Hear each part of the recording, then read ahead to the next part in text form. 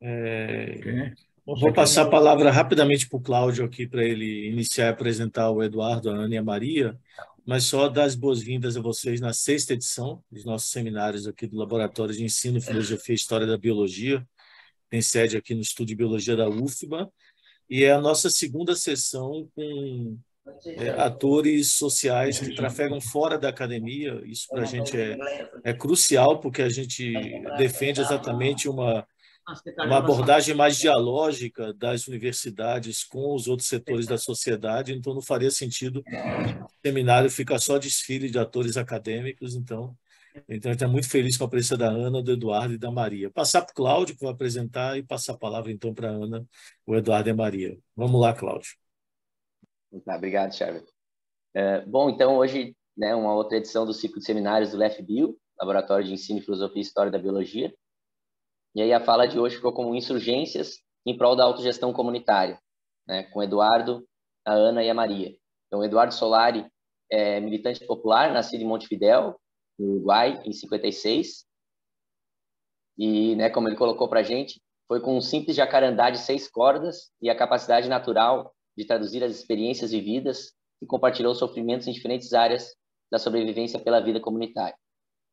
É, a Ana Simão é, também vai falar aqui com a gente. É bacharel e licenciado em Ciências Sociais pela URBS, é técnica social da comunidade Orquídea Libertária e é estudante de pós-graduação dedicado ao estudo de Paulo Freire e da educação libertadora. E a Maria Bandeira, também está aqui com a gente, é catadora e educadora popular, estudante de técnico em meio ambiente do Instituto Federal do Rio Grande do Sul né, e é coordenadora na comunidade Orquídea Libertária. Então, vou passar a fala para vocês, fiquem como como acharem melhor, né? A, discussão em torno de 40 minutos, uh, um pouco mais, né? Se precisar uh, da fala, eu vou e aviso vocês também. Fiquem à vontade. Sejam bem-vindos. Bueno, buen día a todas y todos.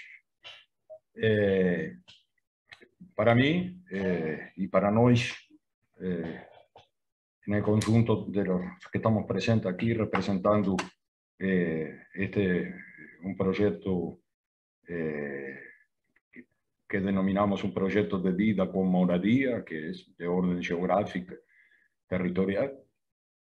Este, es, una, es una satisfacción, de alguna manera, este, eh, a partir de Claudio, que ya nos conocemos a muchos años, eh, poder participar en este intercambio con la academia.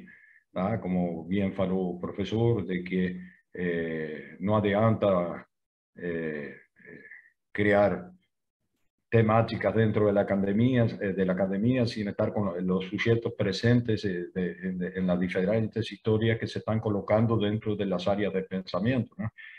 Entonces, eso es un asunto que nos permanentemente cobramos, observamos y criticamos de algunos sectores académicos donde se eh, eh, también transita por aquí, por Orquilla, como en Utopía tuvimos la gran experiencia, que fue un grande tránsito, fueron cientos y miles de personas que pasaron por allá. Entonces, eh, muchas veces éramos descualificados o ignorados por la academia porque no teníamos título. y nos dimos, bueno, dimos algunas, algunos, uh, algunas señales de, de, sus errores críticamente. Y también en la manifestación, Ana, por ejemplo, es profesora, es socióloga, bueno, lo que tú, el currículo que tú mencionó, y, este, y, y ella está desde el, la Fundación de Utopía en la, línea, en, la, en, la, en, la, en la línea de frente de la lucha donde el título de él es simplemente un conocimiento más para poder hacer intercambio entre ella y la sociedad, para poder llegar a un entendimiento de nosotros con la autocrítica primero hacia la sociedad que nos estamos apuntando como eh, parte de una necesidad que precisa, en tanto la humanidad, pero en este recorte de humanidad que nos transitamos. Entonces, ahí, eh, en ese digamos, en ese improviso de, que se colocó en la llamada con respecto a mi conversa, eh, estaríamos hablando de un concepto eh, relativamente nuevo en la historia, este, en la historia del século XX y que ya venía de antes, desde Proudhon, que es la autogestión, que es una, es una bandera que nos levantamos, eh, eh, yo particularmente muchos años, en Brasil, eh, cuando yo llegué aquí, había tres, palabras, tres conceptos, o sea, tres palabras y sus conceptos que no, eran desconocidas, por lo menos en el núcleo que nos estábamos actuando eh, en Porto Alegre, en Utopía y Luta, y que nos impulsábamos en eso, que era la autogestión, que para nada era, eh, era desconocida, palabra desconocida, autonomía era desconocida, y autodeterminación. esas tres palabras y esos tres conceptos eran totalmente a partir del tiempo, es claro, del orden académico, al orden de estudio y todo lo demás, se conocían las palabras, pero no eran palabras eh, continuas para poder crear condiciones y conciencia dentro de las bases sociales. Se trabajaban otros conceptos que estaban muy longe de, eh, de la construcción o de la visión de, de, de, lo que sería una, una, una comunidad de algo que no entré en el concepto técnico de lo que es comunidades, porque si no estaríamos fuera de eso, sino, eh, eh, digamos, que nos llamábamos de una reorganización comunitaria, de una reorganización social de los fragmentos de diferentes, eh, de diferentes sociedades y culturas que estaban llegando a nosotros. Comprende, ¿no? Es, no, no podemos, que ahí está donde eh, se extiende, se puede extender, que no voy, a intentar hacer una síntesis. Nós, eh, por más que, que, que, que, que falemos de colonización, tenemos que asumir que somos colonizados. Y estamos colonizados. Y estamos creando, creando condiciones para romper eso, para crear condiciones de, de llegar otro tipo de ver la vida dentro de una filosofía que yo, descendiente de europeo, no tengo ese inconsciente colectivo que eh, anuncia Jung, eh, por ejemplo, Jung, de que eh, el inconsciente colectivo que puede llegar a mí a partir de pueblos originarios y de sociedades autóctonas acá. ¿Por qué? Porque toda mi descendencia vino de Europa. Entonces, si tengo un inconsciente colectivo, es un inconsciente colectivo perdido en el tiempo. Asimismo, como esa población, las poblaciones originarias de América Latina, além de la inclusión del secuestro de más de 10, 12, 13 millones de africanos en su tiempo, también integran ese inconsciente colectivo de una América Latina totalmente este, de, devastada en sus principios y en toda su historia, desde los sistemas monárquicos hasta lo que llega, la llegada del capitalismo y, y bueno, con sus sistemas este, republicano que todos sabemos, liberal y ahora neoliberal, y en la construcción de algunas décadas que está llegando a un punto final. Entonces, eh, cuando falan de los, eh, nos falan a nosotros eh, de los, de los, la línea de frente y el campo de batalla, para nosotros, no consideramos que la línea de frente y el campo de batalla está dado en la orden, ¿está? comunitaria, que es la reorganización, la reorganización de esas sociedades fragmentadas, de esos retazos de, de, de, de, sus, de sujetos eh, fragmentados, que perdieron o no tienen memoria o, o, que ellos se cruzan en el tiempo y que no nos permiten crear algo que es fundamental, que es una identidad. Si uno de los problemas que tiene Brasil más grande es que él no se siente parte de América Latina, comprende? Y eso es un factor, eh, factor de victoria para el colonialismo que creó a Brasil totalmente, como dice, no, latinoamericanos son argentinos, uruguayos, chilenos, colombianos, mexicanos, todo lo demás. No, y no somos latinoamericanos. Ese es el concepto que creó el colonialismo, de, de, no integrar, de, de, que no le permitir a Brasil se integrar a un concepto latinoamericano. Ese, fue estratégicamente el punto, de, el, punto de, el punto más fuerte que tuvieron ellos, porque si Brasil hubiera tenido un pensamiento y una construcción latinoamericana desde el principio de la historia, la historia hubiera sido otra en estos momentos. ¿Comprende? Si Brasil hubiera sido Chile o Uruguay, por ejemplo, hubiera sido Nicaragua o hubiera sido alguno de esos países con el volumen continental de Brasil, la historia en estos continentes hubiera sido diferente. ¿Comprende? Entonces, que esa colonización vino dividida en diferentes, vino eh, colocada en diferentes perspectivas. Eh, puedo decir, para poder entrar después en el concepto de autogestión y ya dejar claro para, de dónde sale ese concepto, puedo eh, decir cosas así totalmente que, que pueden llegar a ser este, simples, muy simples y muy groseras. Que yo falo para muchas, eh, cuando hablamos de historia o hacemos algunos, algunas cosas de historia, algunos, algunas, algunos, colocamos algunos mensajes sobre la historia de la colonización y eso, decir, oh, hay una diferencia entre la colonización, aunque los resultados sean lo mismo, hubo una diferencia entre la colonización portuguesa y la colonización española. Eh, los españoles vinieron con la Biblia en la mano y el machado en la otra. O tú te, o tú, o tú te sometías o te corto cabeza.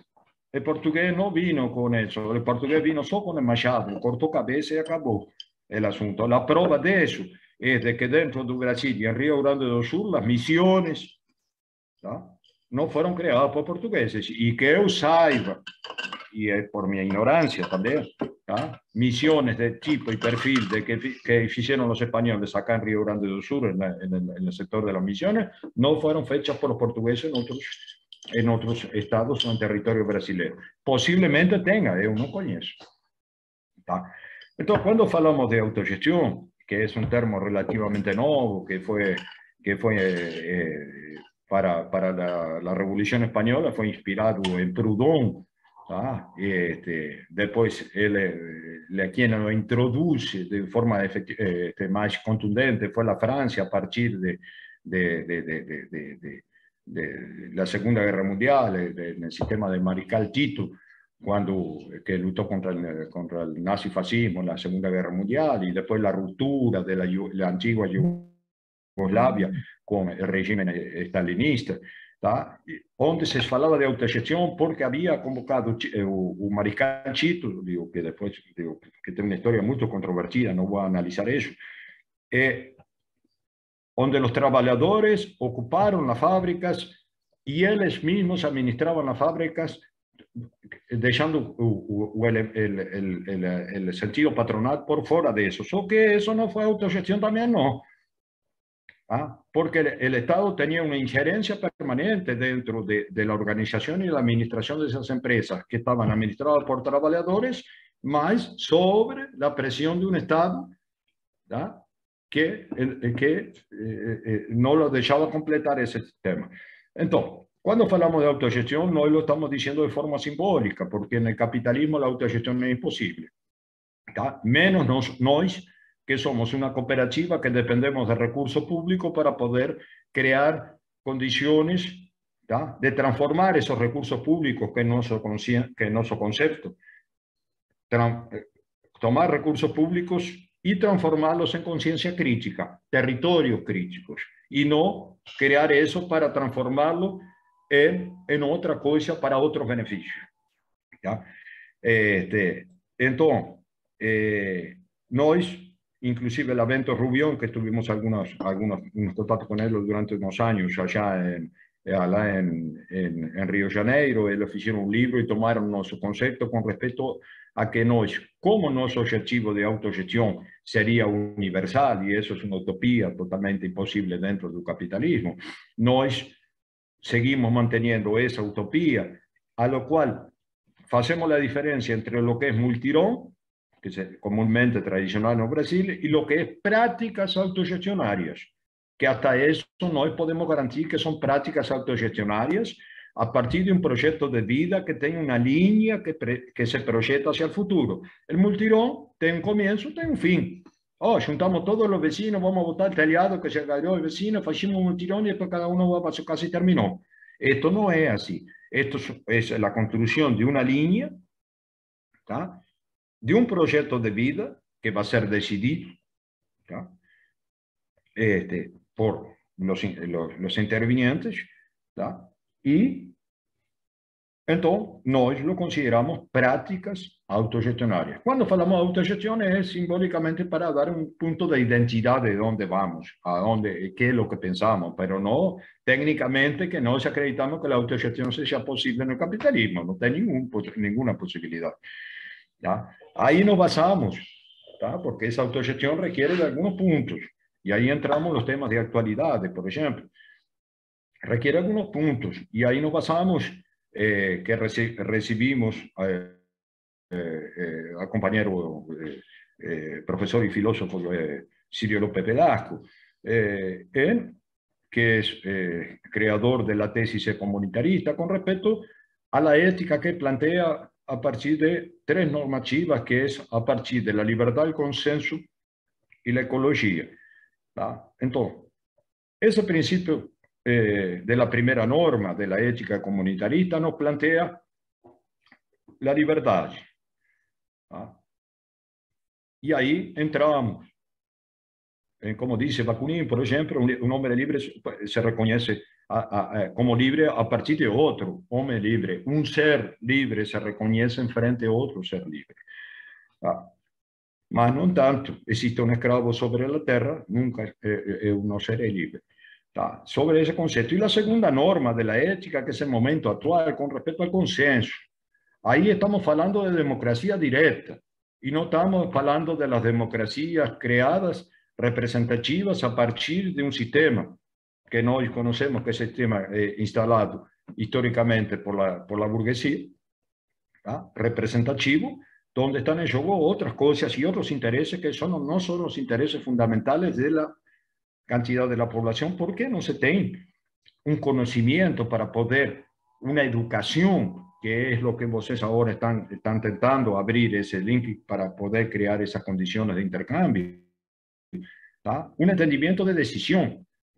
Con la cantidad de, en América Latina de personas eh, eh, totalmente eh, ignorantes de la historia de su propia, de su propia tierra, de, eh, ignorantes de todo lo que acontece en el mundo. ¿Por qué? Porque la educación no provió esos conocimientos.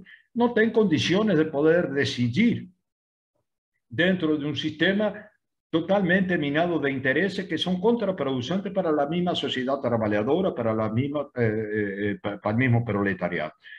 Entonces, construir el consenso también es una utopía, porque el consenso sabemos que el consenso no es como el, asambleísmo ese de 5 o 6 mil trabajadores, que uno dice por la afirmativa y todos levantan la mano, por la negativa, no, no. eso eh, no es levantar la mano. El consenso, eh, todos sabemos, y la mayoría de vosotros son estudiantes, eh, son todos, han profundizado eso, el consenso tiene otro, otro, tiene otro tipo de, de, de, de profundidad que no es eso. Y después, la tercera norma de la la ecología, que se requiere el equilibrio, que también es de actualidad, con respecto a, a, la vida no humana y, eh, digamos, el ambiente, ahí ya hablaremos de la materia, de cómo se transforma la materia a partir de qué sistema productivo. Y no sabemos que el sistema productivo del capitalismo no, no dio cierto, Ni, para, ni para la vida humana ni para la vida no humana. Entonces, ¿Qué planteamos a partir de ese concepto de prácticas gestionarias y a partir del proyecto de vida a nivel comunitario? Entramos a trabajar desde un cero, desde un punto cero, que es tentar condiciones de que los sujetos comunitarios nos ayuden a, a nos entender y nos ayudarlos a nos entender, a comprender, abrir janelas, para crear condiciones de poder sentarnos a construir una unidad, de, eh, una, una, identidad que nos permita avanzar dentro de, de, de, las necesidades que se colocan a partir de una realidad y no de una fantasía creada por un sistema de dominación consumista que es totalmente nocivo, no, no solo para la mente, porque es el grande problema de la salud mental también ahora, como también para la salud, que ya lo sabemos bien que estamos comiendo agrotóxicos deliberadamente, eh, nos están inyectando agrotóxicos deliberadamente y que en este momento no hay ningún otro tipo de cura que los laboratorios que te inyectan cualquier cosa que no sabes que tiene adentro, ¿ya? porque tienen la ciencia boa y la otra ciencia. ¿ya? Entonces, ahí, eh, eh, a ver si me coloca para encima que hay una, ahí quiero decir una frase. Eh, yo tomé un asunto que puede, que puede más o menos dar una vuelta y dar una idea, no sé si me estoy yendo para muchos puntos, ¿no? Eh, yo tomé del 18 Brumario, la interpretación de Marx, las reflexiones de Marx, tomé una, una traducción ahí que no es mía, que yo la copié de, una, de un trabajo que dice, las sociedades humanas hacen su propia historia, mas no la hacen como quieren, no la hacen sobre circunstancias de su escolia, y sí por aquellas que se defrontan directamente legadas y transmitidas por su pasado. Entonces, ¿qué tipo de sociedad nós tenemos para poder trabajar? Para trabajar? Nós tenemos eh, compañeros que son sindicalistas, tenemos compañeros que son eh, eh, en diferentes actividades, tenemos compañeros que trabajan en sectores partidarios, tenemos compañeros que andan en diferentes asuntos y desestimulan o desestiman el trabajo de base comunitario.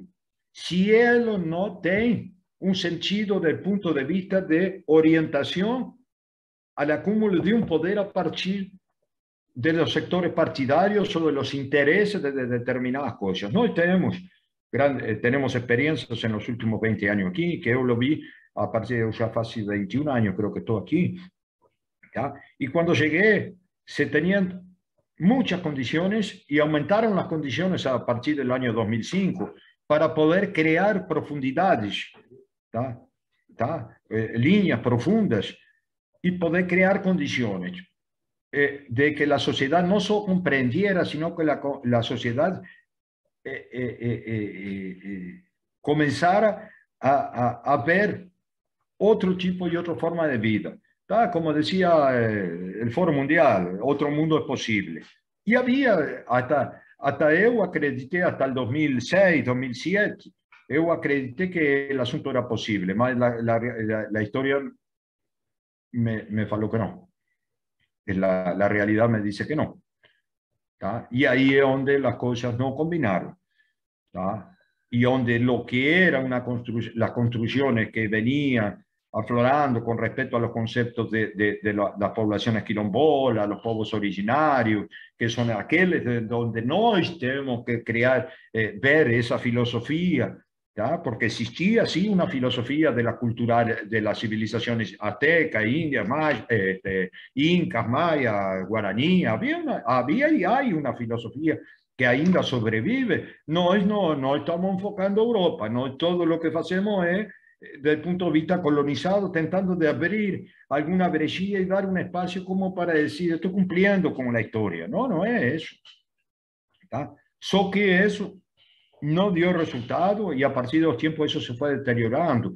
porque No hubo coraje, había condiciones, eh, las condiciones estaban, no hubo coraje, no tenemos un gran movimiento que fue único en el mundo a partir de la reforma agraria, aquí, o sea, en, los últimos, en las últimas décadas, que, que era movimiento sin tierra. Y bueno, los que transitamos por dentro del movimiento, sin tierra sabemos que aconteció por dentro cómo fue que se creó todas esas condiciones, cuando tenían las condiciones, y no, y no estamos haciendo diferente de los principios que hacían ellos, de cómo ellos hacían al principio. ¿Comprende? ¿De qué? De establecer esas relaciones y estar en el cuerpo a cuerpo, ¿está? De forma horizontal, comiendo el fechón, comiendo el pan duro de onte, el pan que ficó de onte, comiendo lo que tenga que ser y sufriendo en el trabajo junto con todo el mundo, nada de venir de afuera a crear una figura de categoría por cima. Tá, só que eso, en esos eh, también los movimientos urbanos, de donde vinimos nosotros, que nacimos a partir del Movimiento Nacional de Lucha por la Moradía, también no fueron comprendidas. Estaban todas las condiciones, todas las condiciones. porque yo vi eso cuando llegué, cuando llegué de Uruguay, habiendo estado en Argentina, en luchas en Argentina, estuve en Chile, estuve en Paraguay, vi todo lo demás, y cuando llegué a Brasil, digo, pero vos tenés todo aquí, vos tenés todo. No, y no tenemos eso en Uruguay.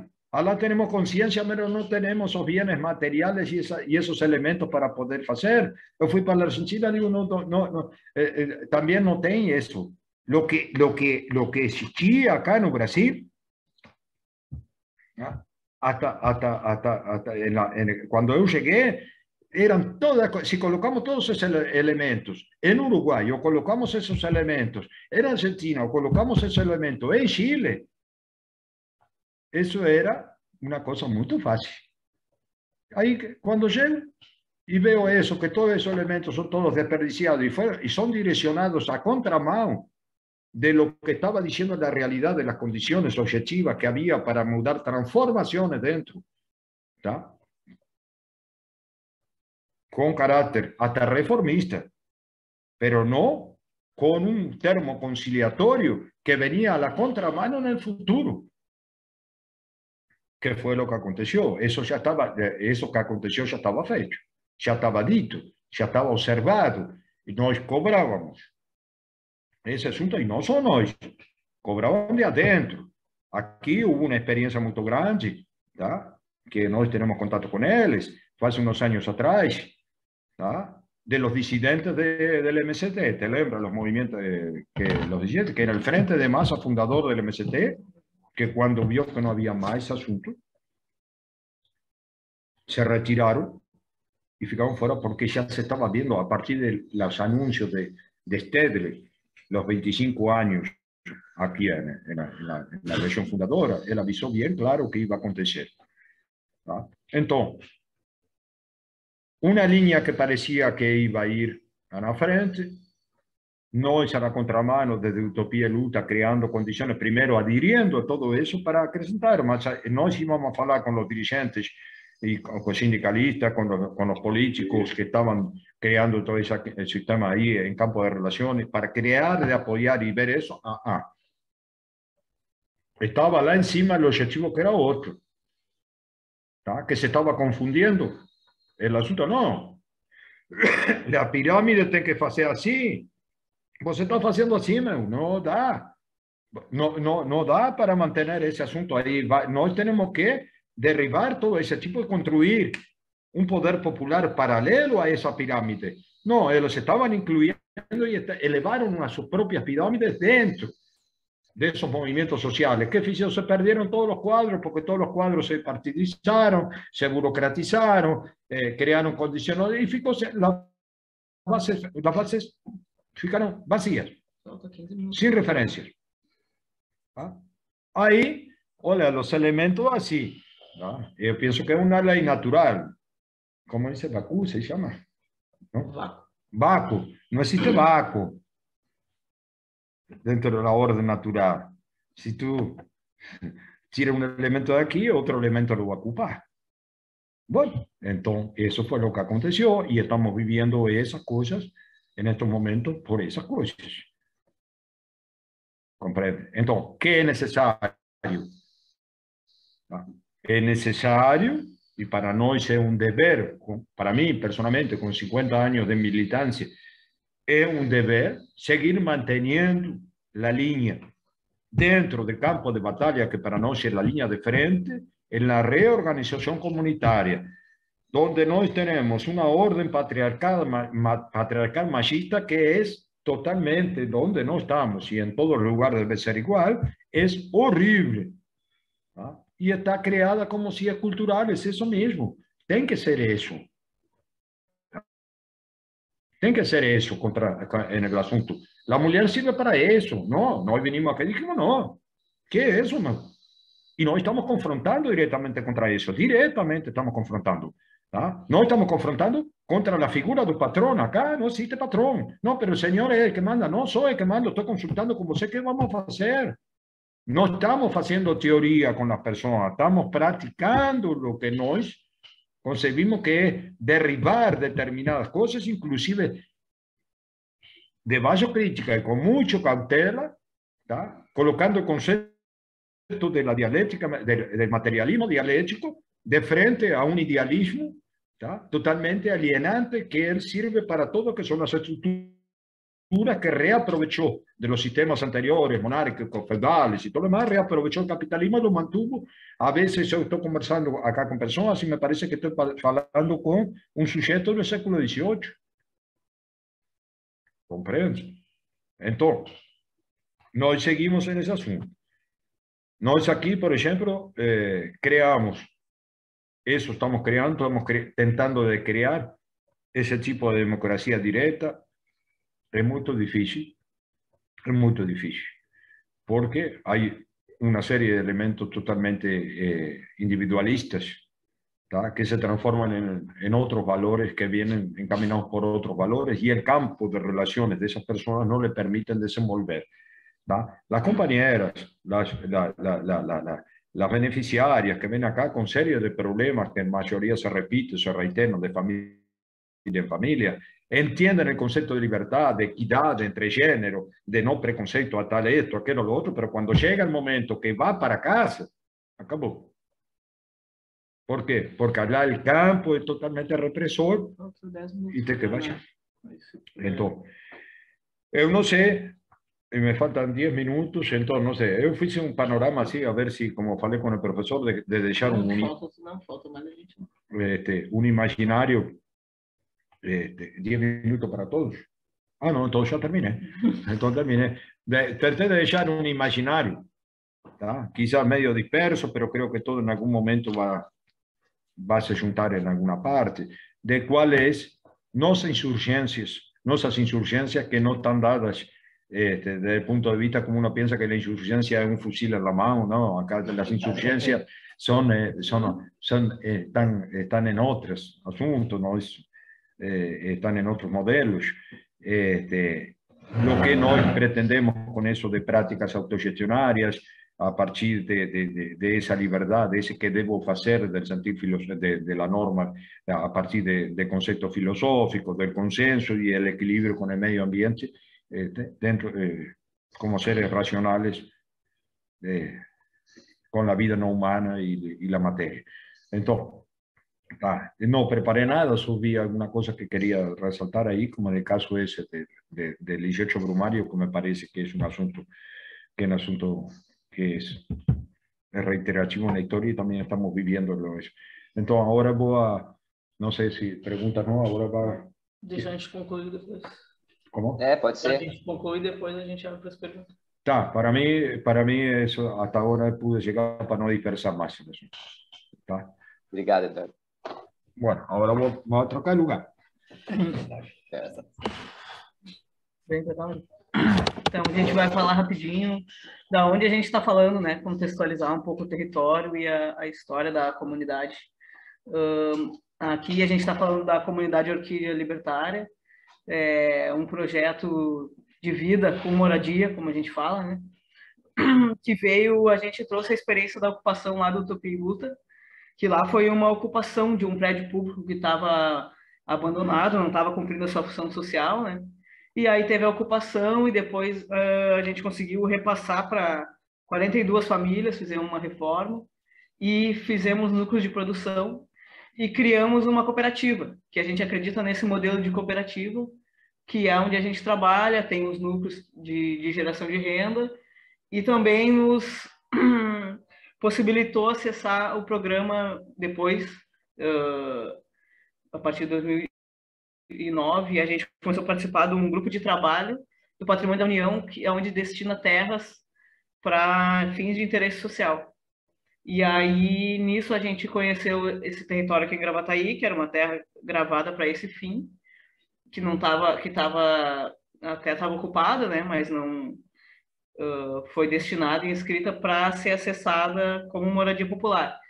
E aí, com a experiência que a gente foi tendo lá na Utopia, a gente conseguiu acessar essa terra e escrever um projeto junto com o pessoal do Movimento dos Catadores aqui de Gravataí, que o movimento já estava organizado também em uma cooperativa, e atualmente essa cooperativa ela é, faz 100% coleta seletiva da cidade. Gravataí é uma cidade da região metropolitana de Porto Alegre, no Rio Grande do Sul. Né? E aí, então, a cooperativa dos catadores, a Cotracar, a gente fez essa parceria pensando assim, os trabalhadores já estão organizados, então vai ser um processo diferente do que foi lá na, na Utopia. Não foi uma ocupação no sentido de ter que disputar o território, mas sim uh, não deixa de ser também uma ocupação porque tu vem para o território onde ninguém te conhece, onde tu traz uma proposta para fazer um projeto social em que ninguém acredita, né? Como assim? Agora vai ter, vai vir o progresso, como o pessoal fala, que aqui está bem perto do Rio, né? Então pessoal bastante desconfiado. Ah, agora vão trazer os papeleiros para cá, vão fazer uma vila, vão fazer, vão trazer o tráfico, vão juntar lixo. Então é um trabalho que está uh, desde 2014. É lento, né, o processo, porque a cooperativa não tem seus próprios recursos, depende de recursos públicos. Então a gente acessou esse programa que agora está em extinção, que é o Minha Casa Minha Vida Entidades, onde a cooperativa gestiona todo o processo, desde fazer o, todo o desenho, os projetos, aprovar os projetos nos órgãos municipais, aprovar na, na Caixa Econômica Federal, que é o agente financiador. E o recurso vai sendo liberado por etapas, né? E tudo a gente foi aprendendo a fazer assim, com técnicos parceiros, com coletivos, que daqui a pouco estão juntos, daqui a pouco já não está mais. Tem recurso, tem gente, não tem recurso, não tem mais. Então é um processo muito lento. A gente deveria já ter terminado a obra em 2019, uh, porque a gente assinou o contrato em 2017 mas com todas as crises econômicas que acontecem, com todos os processos de aprendizagem, a gente é bem mais lento do que um empreendimento que tem o objetivo de fazer casas só de má qualidade para as pessoas. Então é um projeto bem diferente assim, aqui no, no município é único. E a nossa intenção é demonstrar que é possível utilizar esses recursos públicos e fazer um, tentar construir uma comunidade, que o conceito de comunidade é mais difícil de ser alcançado, mas fazer um projeto diferenciado com qualidade, tanto de qualidade de materiais, com casas maiores do que as que se tem nos programas geralmente, porque a cooperativa não não não, não tem o lucro, então todos os materiais, todos os recursos são investidos em materiais e mão de obra. E aí a gente quer demonstrar que é possível ter lugares com uma projeção de vida coletiva, com um lugar mais seguro, com um lugar onde as pessoas e as crianças sejam a prioridade, não os carros sejam a prioridade, por exemplo, ou e aí isso é o que a gente tem tentado construir devagarzinho durante esses anos. E um diferencial também nosso das outras cooperativas que também acessam esse programa é que a gente não optou por não cobrar uma mensalidade em questão monetária, e trocar essa, esse valor monetário que, que geralmente tem que, as cooperativas cobram por horas de trabalho, que é um modelo que tem no FUPA, no Uruguai, mas que aqui é muito, é muito difícil a gente encontrar alguém parecido com a gente nesse, nesse modelo. E também a gente uh, tem, tenta trazer as noções de que a gente é um ser humano integral, né? E não somos ser humanos em caixinhas, assim, ah, meu saber é tal e eu vou fazer tal atividade, a Maria vai fazer a reciclagem, o Eduardo vai fazer a música, o outro... a gente está sempre se desafiando e nos demonstrando na prática que a gente é possível de aprender outros a fazer eles, é possível da gente uh, se desafiar, a, tá sempre aprendendo, que é coisa também que, que é, é, bem difícil, né, o pessoal se coloca, né, limitações, e aí, com, a, com esse modelo de trocar os recursos de dinheiro por horas de trabalho, é que a gente tem construído a comunidade. Eu vou passar para a Maria para falar mais sobre essa, essas atividades. É, pegando o gancho da Ana, então, a gente trabalha em regime de mutirão, né? Que a gente fala, gosta de falar práticas autogestionárias, né? E a gente também tem o, a maioria das pessoas que trabalham nesse, nesses mutirões são as mulheres, né? E a gente também não trabalha só essa parte da, do trabalho em si. A gente também tem um grupo de estudo aqui, onde a gente faz aulas para Enem, para Enseja, Aí tem mais para a gente conseguir entrar em cursos, né? Eu tô, tô com uma colinha aqui. e também temos os grupos, os núcleos, né? Estamos criando os núcleos de trabalho também, que é na área da, da alimentação. A gente tem um núcleo, tem um núcleo de artefatos também, de artefatos de concreto aqui que a gente coloca, né? Na, que é a pavimentação do, do a gente mesmo é que nós mesmos é que fizemos, né, os pavessos, né, que são feitos. Tem um núcleo também de serigrafia, sublimação, onde que a gente começou a fazer canequinhas, vou mostrar que fazer o merchan, estão fazendo canequinhas, a gente faz camiseta, então é isso. E também tem aquela pegada do meio ambiente também, né? Porque nós temos uma área de preservação aqui no fundo, que a gente está bem pertinho do rio, então a gente veio nessa pegada do ambiente também, com que a gente tem uma cisterna onde é, a gente pega a água da chuva para poder reaproveitar a gente também tem o biodigestor, né, que, que é para gerar energia a partir dos, do, dos rejeitos, né, vamos dizer, do, da matéria orgânica, né, que, que vai ser usada, vamos dizer, da, dos banheiros, né, aquela matéria orgânica vai se transformar em gás, que é para a gente usar em algum momento na, na para fazer alguma coisa na cozinha. E também temos a parte externa também do condomínio, né? A gente não pega a luz da, da, da EGE, né? Que é a empresa que vende, é toda com placas solares, né? Iluminação externa do condomínio, não tem. A gente colocou para ter essa pegada do meio ambiente, para a gente também estar tá perto do rio, né? E tem mais todo o cuidado com a área de preservação, porque a gente não, não pode entrar lá dentro, a gente tem, tem a APP aqui, porque a gente está bem pertinho de uma APA, que é a APA do Banhado Grande, né, aqui de Gravataí. Então, por a cooperativa se comprometeu a deixar uma parte maior do que deveria, né, de, de área de, de preservação. Então, tem todo esse cuidado com com a área de preservação, com o lixo que a gente gera, a gente separa os materiais todo e manda para a cooperativa de reciclagem, né? Então, eu acho que é isso, e frisar também essa coisa da mulher, né? Do empoderamento da mulher, né?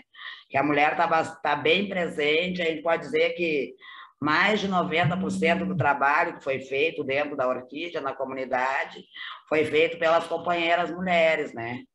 Nesse, nessa coisa do mutirão, da, da coisa das práticas autogestionárias, né? Eu acho que é isso, eu acho que eu não me esqueci de nada, né? É isso, então, para a gente dar essa abertura aí, se alguém ficou com alguma dúvida.